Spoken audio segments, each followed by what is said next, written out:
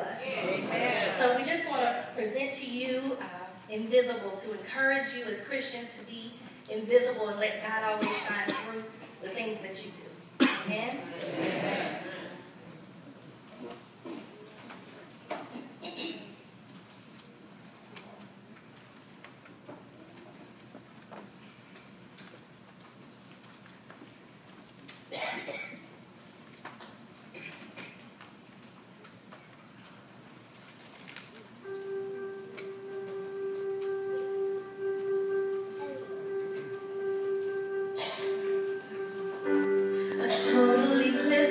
has just begun.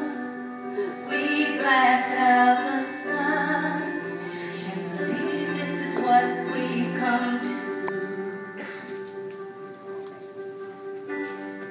So you think that you're